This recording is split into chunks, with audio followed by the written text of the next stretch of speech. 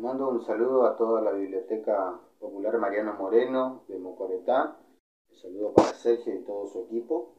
Brillante la tarea que están realizando y les voy a, dejar un poema que integra la selección eh, y la compilación de Editorial Dunkel, eh, libro que se llama De la flor, la mar y la ausencia, en este caso, eh, que ha publicado un poema mío. en este caso dice así, latidos de la tarde, pienso en las cosas bellas, en el racimo de esencias que cuajan misterios y ausencias, imperceptibles poemas suicidas de palabras atadas, caídas del reglón, pienso en los ojos de miel, latidos de la tarde, otoño vago, cuarteles que siguen el ritmo, pienso en las lágrimas, sombría tristeza del lapacho.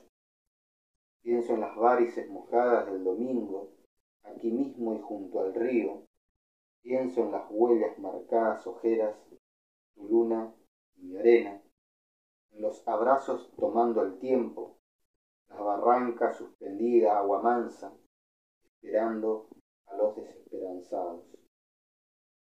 Gracias por eh, acordarse de nosotros sigan leyendo, sigan eh, escribiendo.